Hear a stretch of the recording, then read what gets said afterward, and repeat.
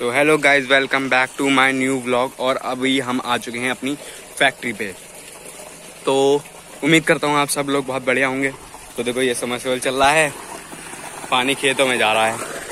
और देखो फैक्ट्री चलनी स्टार्ट हो गई है। जैसा कि आप देख सकते हो, सामने ये सारा सूखा हुआ पेपरमेंट पड़ा हुआ है। यही जो है, ये इसी को देखो मैं दिखाता हूँ। और देखो वो ट्रॉली खड़ी हुई है, उसमें सारा पेपरमेंट जैसे कि देखो, मैं दिखाता हूँ, पाँच साल के भी दिखाऊँगा तो वो पेपरमेंट टंकी में भरा जा रहा है। अभी वो ये कल रात चली थी तो ये वही मतलब जो पहले का मैंने दिखाया नहीं था, उसमें भरा हुआ रखा है, ये वही है। तो इसको अब सुखाया जा रहा है, ताकि इसको आग जलाने के काम में लिया जा सके। तो चलो, चलते हैं उसके पास और वीडियो बनाते हैं और आपको समझाते हैं एक एक प्रोसेस तो गाय देखो, वो सूखा मलबा पड़ा हुआ है और ये है भरा हुआ पेपरमेंट देख सकते हो आप। ये देखो, वही पेपरमेंट है, ये सूखा हुआ है, बस। और देखो ये सारे जाल पड़े हुए हैं। ये रे भट्टी देखो उसमें से ऊपर से देखो धुआँ निकल रहा है उसमें क्योंकि ये नीचे फैक्ट्री चल रही है।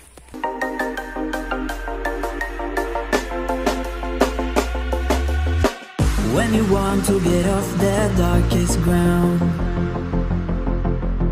But gravity pulls you straight down. तो गाइस जैसा कि ये देख रहे हैं ये चेन पुली है। इससे हम वो जैसे मतलब ये जैसे ये देख रहे हैं ना ये टंकी इसको खींचते हैं ताकि इसे ऊपर उठा सके। और देखो मैं दिखाता हूँ ये टंकी कैसे भरी जा रही है।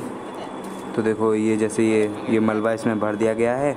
अभी इसको ही नीचे से मतलब भट्टी में आ, वो मलबा डाल के इसको जलाया जा रहा है और इसको खोलाया जा रहा है। ये जाल हैं इन्हीं को डाल डाल के इनके ऊपर पेपरमेंट डालते हैं ताकि इन्हें बाद में निकाल सकें। मतलब आसानी से निकाल लें निकाल सकें जो जला हुआ पेपरमेंट है। और देखो, इसे ऐसे खून रहे हैं ताकि ये अच्छे से दब जाए मतलब अच्छे से इसको दबा दबा के भर सकें।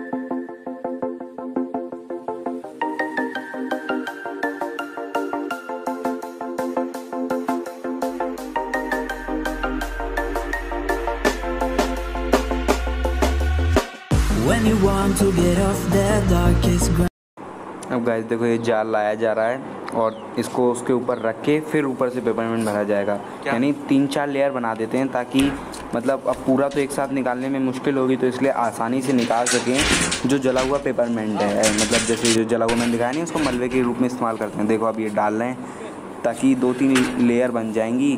जैसे केक की दो तीन लेयर बनाते हैं वैसे ही ताकि निकालने में आसानी हो। अब देखो ये इसके ऊपर डाल के फिर इसके ऊपर से भरेंगे और इनकी जंजीरें बाहर रखते हैं ताकि जंजीरें फंसा फंसा के उस चेन पुली से ऊपर खींच खींच के आराम से इसको निकाल लें बाहर। अब देख सकते हो आप कैसे ये लोग डाल रहे हैं इसमें।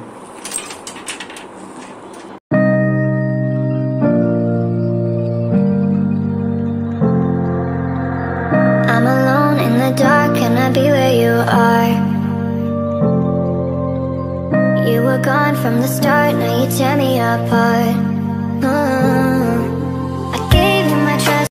अब गाइस देख सकते हो वो देखो वो धुआँ निकल रहा है क्योंकि नीचे से अभी भट्टी मतलब वो गर्म की जा रही है ना तो नीचे से वो धुआँ निकल रहा है। चलो मैं नीचे दिखाता हूँ कैसे इसको मतलब गर्म किया जा रहा है इस टंकी को।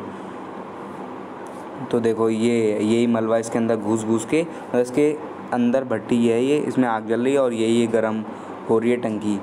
तो ये ऊपर पानी मैंने बताया था ना पानी भरा जाता है।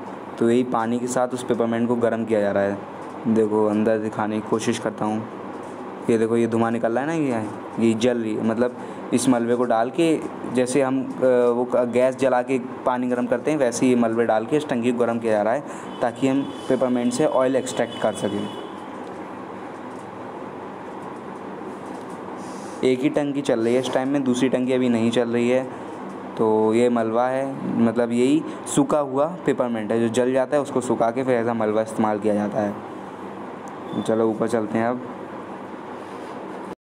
तो गाइस ये वही कंटेनर है जिसमें जब ऑयल मतलब जब ऑयल आने लग जाएगा तो वो कंटेनर इस कंटेनर में आने लगेगा, पानी के साथ मिक्स हो गया और ये गर्म पानी, यही पानी में आएगा मतलब उधर टंकी से इसी पानी में आएगा ऑयल और इस कंटेनर में भर जाएगा और इसी कंटेनर से ऑयल और पानी को प्योरीफाई किया जाएगा। और ये वाटर टैंक है मतलब ताकि अब जैसे उसमें पानी भरा हुआ था तो उसके लिए इस्तेमाल किया जाता है। मतलब जैसे उस कंटेनर में पानी भरा हुआ है ना तो उसके लिए जैसे एमरजेंसी में पानी चाहिए हो तो एज अ वाटर टैंक ये इस्तेमाल होता है। ये बैटरी चौंकी जा रही है और ये मलबा पड़ा हुआ है, वही जला हुआ पेपरमेंट है जो सूख गया है।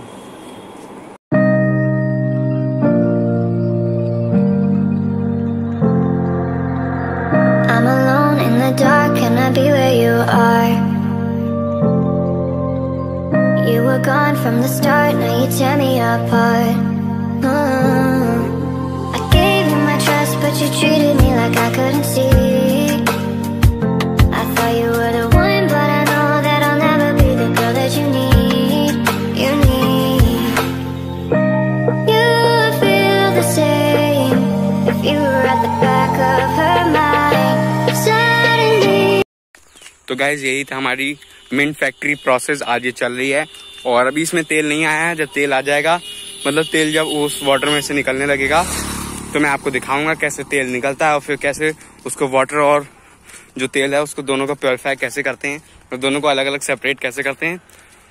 तो चलो, जल्दी मिलेंगे नेक्स्ट ब्लॉग में। Thank you so much for watching my blog bye